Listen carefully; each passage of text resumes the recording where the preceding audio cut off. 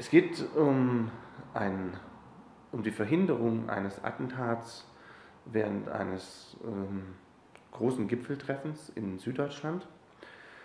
Und die Protagonistin, die Linda Perrault, ist äh, Polizeibeamtin und leidenschaftliche Schützin.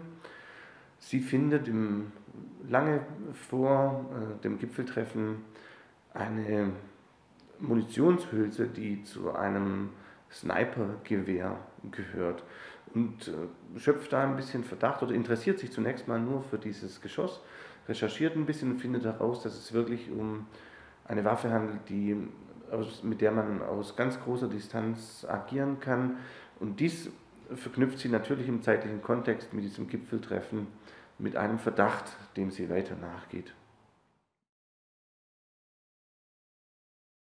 Ich war 2009 als Polizeibeamter äh, während des NATO-Gipfels in Deutschland eingesetzt, äh, als Obama zum ersten Mal mhm. nach Deutschland kam und äh, stand an, an, dem Abend vor dem Treffen vor dieser besagten Brücke, die im, in dem Thriller eine ganz wichtige Rolle einnimmt und habe mich umgeschaut und die ganze Umgebung, die Häuserfluchten, gesehen, den Verlauf des Rheins äh, beobachtet und dachte mir, hui, das ist eigentlich nicht wirklich sicher. Und ähm, in dieser einsamen Stunde bei Nacht unter dieser beeindruckenden Fußgängerbrücke über den Rhein ist die Idee für diesen Roman geboren. Es gibt zwei Protagonisten in dem Thriller. Zum einen die, also die, die gute, die Linda Pirot, die Polizeibeamtin, die das Attentat verhindert, und den Bösewichten, der Attentäter selber. Und mit beiden habe ich, ähm, würde ich jetzt sagen, wenig bis keine Gemeinsamkeiten. Ich glaube, dass beide vielleicht aus der Summe der Eindrücke und Erfahrungen entstanden sind, die ich als Polizeibeamter gemacht habe und auch eben Erfahrungen, die ich als SEK-Beamter gemacht habe.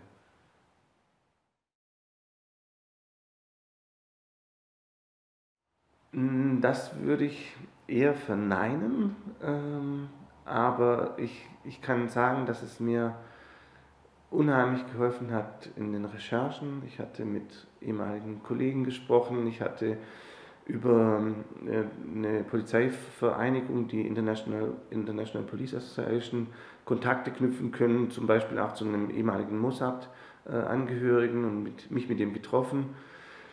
Ähm, und ich sage immer, dass es für mich äh, von der, also das realistische Darstellen von Situationen, wo es um Spezialeinheiten geht, insofern einfach leichter ist, da ich weiß, wie es sich anfühlt, in so einer Uniform zu stecken, vor einer Tür zu stehen, wo jemand drin ist, der eine Schusswaffe hatte oder eine Handgranate in der Hand hat. Also ich kenne dieses Gefühl, ich weiß, wie diese Menschen miteinander umgehen und, und das hilft mir natürlich äh, sehr.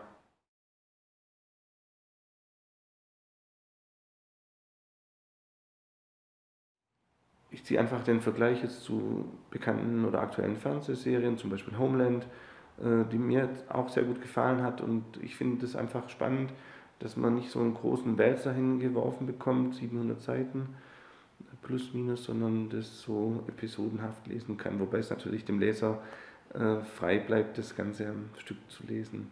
Die Gefahr ist auf jeden Fall relativ groß, das haben mir Erstleser zurückgespiegelt.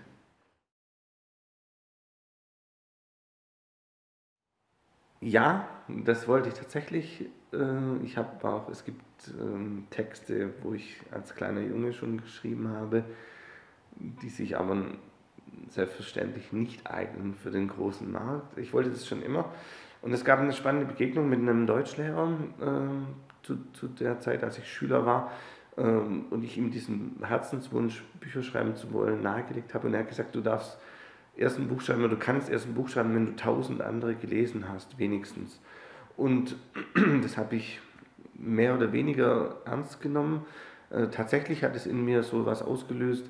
Ich will mich erst ein Buch machen, wenn ich äh, das Gefühl habe, dass ich das kann.